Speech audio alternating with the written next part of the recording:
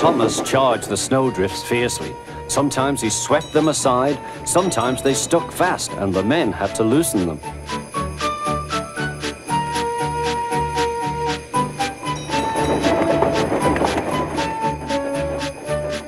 But at the cutting near the cottage, they could go no further.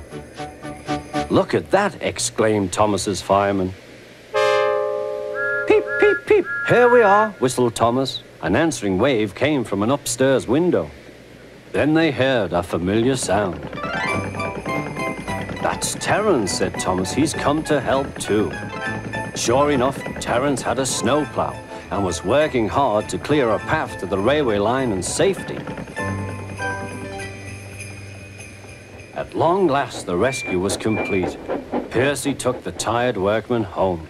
Terence said goodbye to Mrs. Kindly and promised to take care of her cottage as he watched them all set off. The engines made good time. No more snow had fallen, but the yard was dark.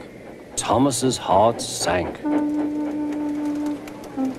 Suddenly, all the lights went on. What a marvelous sight awaited Mrs. Kindly. Well done, said Sir Topham Hatt. I'm really proud of you all. Mrs. Kindly especially thanked the smaller engines.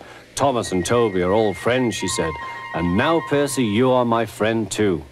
Percy was very pleased. Three cheers for Mrs. Kindly, he called. Peep, peep, peep. They all whistled. Wish you a Merry Christmas. We wish you a Merry Christmas. We wish you a Merry Christmas and a Happy New Year. Thomas the tank engine and his friends thought it was the best Christmas ever, and Mrs. Kindly could think of nowhere she would rather live than here with them on the island of Sodor.